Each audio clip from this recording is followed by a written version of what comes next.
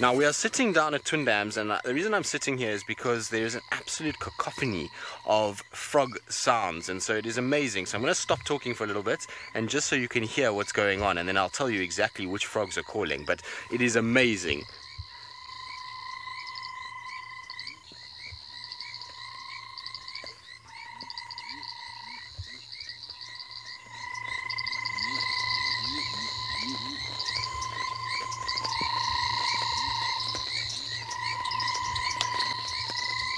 Right. So we currently have five different frog species that are busy calling here at the moment. So I'm going to go through each one and show you exactly which ones there are. So we'll start with I'm just trying to find the first one. This is the one that's the loudest that you are hearing. That whirring sound is the banded rubber frog. It's a pretty funky looking fella, and that's because it displays aposematic coloration because it is toxic. So it secretes a fluid that is toxic and is not very good for you. So I'll play its call so you can just isolate each call and you'll know which one is which.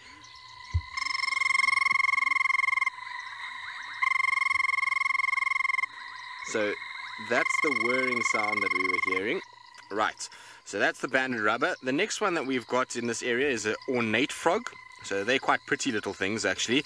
Tough to see them though. I find that they're very difficult to actually locate, but very cool little frogs and they have a very cool call as well. They're further down. It sounds like they're in Little Gowrie at Baboon Pan, but they've got this sound.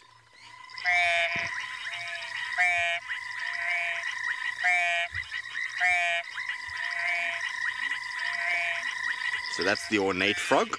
Then we've got the oh, who we got next? We've got African bullfrog next.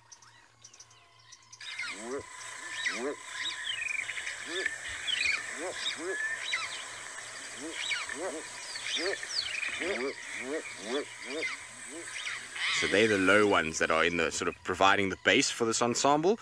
And the last one we have is a tremolo sand frog, which goes along the lines of this. So that's what the tremolo sand frog looks like. He's got a bit of a stumpy face, doesn't he? And almost little dermal dots, much like what you see on a toad, but they are part of the frog. So it's a it looks like Hosanna. No, Hosanna is much prettier than that for him.